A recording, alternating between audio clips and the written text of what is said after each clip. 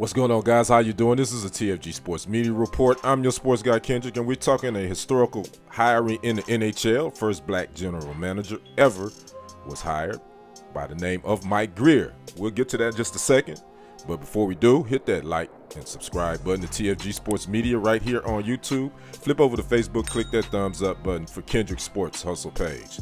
The San Jose Sharks have named Mike Grier as the team's next general manager, and in doing so, making Grier the first black general manager in NHL history. Now, Grier played 14 NHL seasons with the Edmonton Oilers, the Washington Capitals, Buffalo Sabres, and Sharks, and announced his retirement in 2011.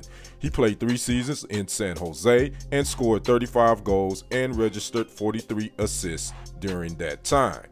47 year old spent the 2021 2022 season as the New York Rangers hockey operations advisor and also served as a scout for the Chicago Blackhawks from 2014 to 2018.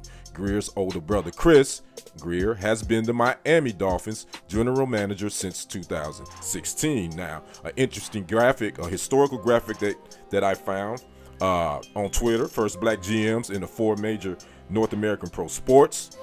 NBA was Wayne Embry, who was hired by the Bucks as GM in 1972. The Major League Baseball, Bob Watson, the Houston Astros in 1993. NFL, most everyone knows, Ozzie Newsome, Baltimore Ravens, 2002, 2002, and the NHL, now presently Mike Grier with the San Jose Sharks 2022. So those are the first black GMs in the four major North American pro sports. Now, at the introductory uh, press conference today, the San Jose Sharks introduced Mike Grier as a new GM and he was excited about this new opportunity, but he also talked about the significance of being the first black GM in the sport Take a listen to what he had to say. Drop a comment below. And don't forget to subscribe to the channel if you haven't already. And hit that notification button to be alerted when new uh, content is uploaded. This has been a TFG Sports Media Report with your sports guy Kendrick. Take a listen to the new GM with San Jose Sharks' first black GM, Mike Grier. Take a listen what he has to say, and then I'll catch you on the other side. So until next time, peace.